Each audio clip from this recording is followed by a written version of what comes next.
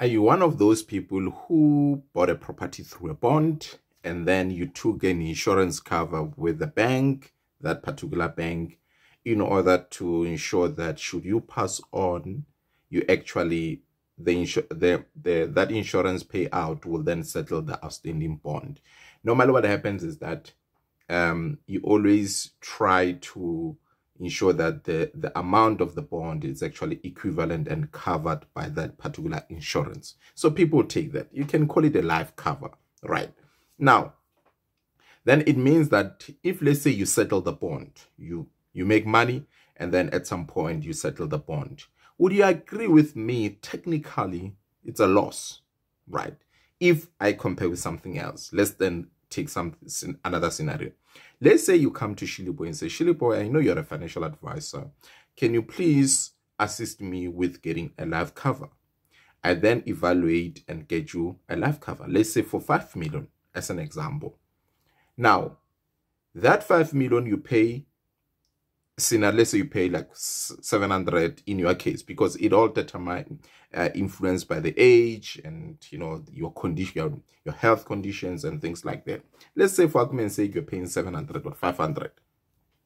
Would you agree with me that if you then say that particular life cover, let's say it's 5 million, let's say you've got a bond, a standing bond of about 2 million, 3 million, should I pass on the money that is going to be part of that life policy. Can always pay into the estate and then the estate as part of winding up of that deceased estate will then settle use that life cover to settle any outstanding bonds. Right. Let's say that is the case you passed on when the, you're still having an outstanding bond.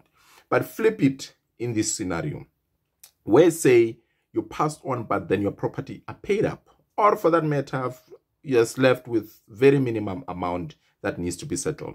Would you agree with me that the payout now could still benefit your beneficiaries, could still benefit whoever you want them to benefit from your estate? So to me, to a certain extent, it makes no sense to be taking life cover that it's only in proportion to the bond. And then if my bond keep reducing, then it means that if at some point my bond is paid up, I technically lost those premiums that have been paying.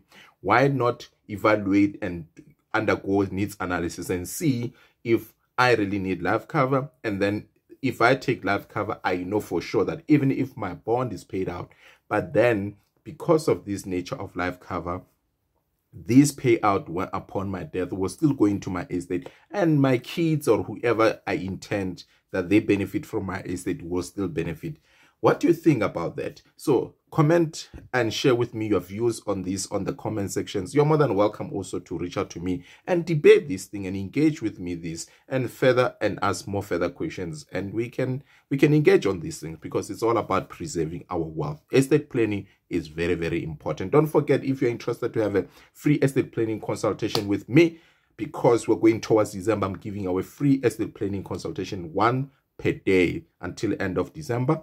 So use the link on my profile to reach out and then let's have a conversation about protecting your wealth. Okay? Good luck.